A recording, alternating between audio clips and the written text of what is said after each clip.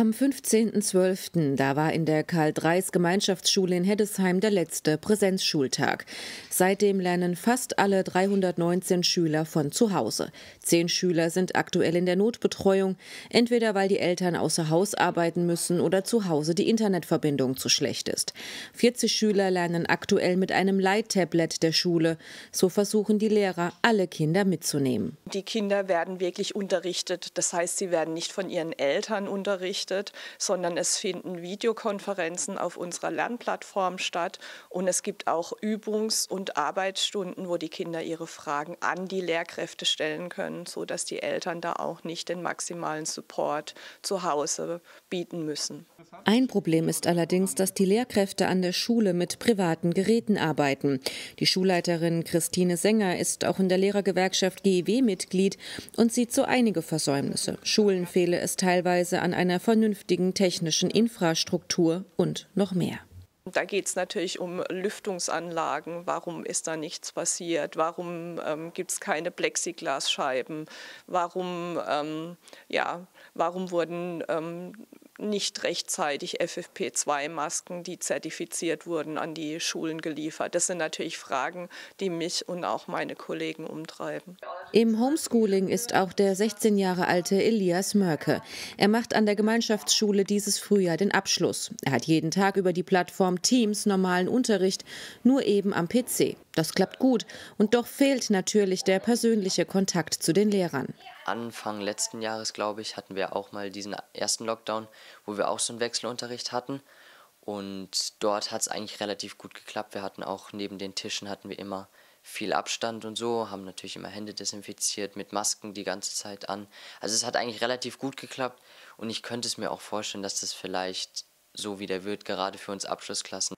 Elias Schwester Luise ist in Heidelberg an der Schule und lernt mit Moodle. Da läuft es noch nicht ganz so rund. Die Schüler können sich untereinander nicht sehen.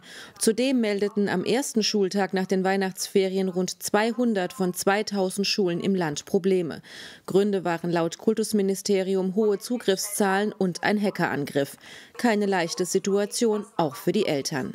Sei es, was das Strukturieren äh, des Schulalltags angeht, äh, sei es allein irgendwelche Lösungen hochzuladen, äh, einzuscannen, ähm, wenn es technisch nicht funktioniert. Äh, also da ist schon, man braucht recht viel technisches Wissen, um, um einfach gut zu unterstützen und aber auch beim, bei den Hausaufgaben, beim Bearbeiten, da ist, da ist viel Engagement gefragt. Die Opposition wirft dem Kultusministerium Tatenlosigkeit vor. Sie fordert unter anderem die Wahlfreiheit zwischen G8 und G9, mehr Mittel für Nachhilfe und auch den Einsatz von Lehramtsstudenten.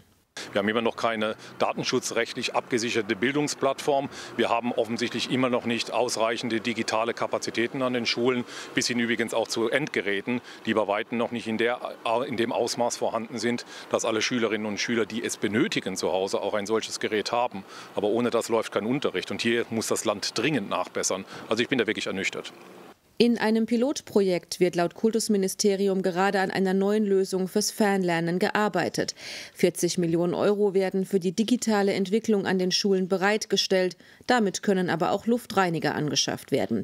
Die Ergänzung des Digitalpakts sieht zudem bald Mittel für die Hardware für Lehrer vor. Tatenlos sei man in den letzten Monaten nicht gewesen, heißt es. Wir haben in technischer Hinsicht, in inhaltlicher Hinsicht, was den Rahmen für den Unterricht angeht, in inhaltlicher Hinsicht, was Fortbildungen für Lehrkräfte angeht, auf die Situation reagiert und auch die weitere Entwicklung Angebote gemacht. Aber nochmal, die Entwicklung im vergangenen Jahr war eine, die immer wieder uns vor neue Herausforderungen gestellt hat. Und jeder versucht an seiner Stelle diesen Herausforderungen immer wieder neu gerecht zu werden. Ähm, ich glaube, dass gerade der Start nach den Weihnachtsferien und dass so schnell dann äh, die äh, Anwendungen auch wieder gelaufen sind, äh, zeigt, dass wir uns darauf gut vorbereitet haben. Die Pandemie ist eine Stresssituation über Monate hinweg. Das kann als Verstärker, als Trigger bei ohnehin schon vorhandenen Problemen wirken. Themen sind hier vor allem Motivationsprobleme oder auch Schulverweigerung. Ein weiterer Punkt äh, sind Leistungsängste, die sich entwickeln können, gerade bei Kindern, die äh, etwas hinten dran gekommen sind jetzt, äh, dadurch, dass sie vielleicht in ungünstigen Situationen, schwierigen Familienverhältnissen äh, fehlenden äh, oder unzulänglichen räumlichen Möglichkeiten arbeiten müssen und äh, merken, dass das äh, alles jetzt für sie noch schwieriger geworden ist, dass sie aber natürlich auch ähm, ja, den Leistungsanforderungen entsprechen wollen, gerade auch im Grundschulbereich oder auch bei den Jüngeren in den weiterführenden Schulen. Da wird ja noch viel äh, aus persönlicher Beziehung ähm, gelernt. Kontaktaufnahme seitens der Lehrer ist hier wichtig und auch Nachhilfeangebote. Das Ministerium hat die Lehrer angewiesen, den Schülern regelmäßige Aufgaben zu stellen und diese auch zu kontrollieren.